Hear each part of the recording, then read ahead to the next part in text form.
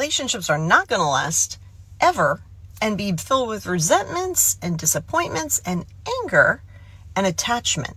If you are expecting this person to make up for what this person did not do without healing what this person did before you got with this person.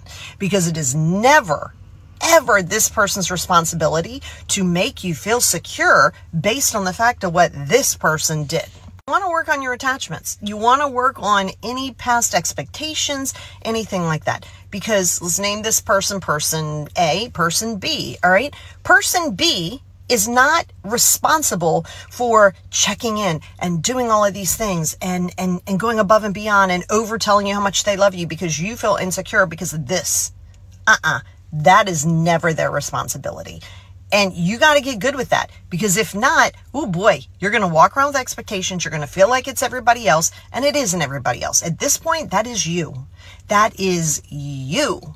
It is you have got to face yourself and stop trying to run into somebody else and stop doing all of those things. Use it as a trigger signal that says, I have to work on myself. Stop running to somebody else. It's not their responsibility to make you feel whole.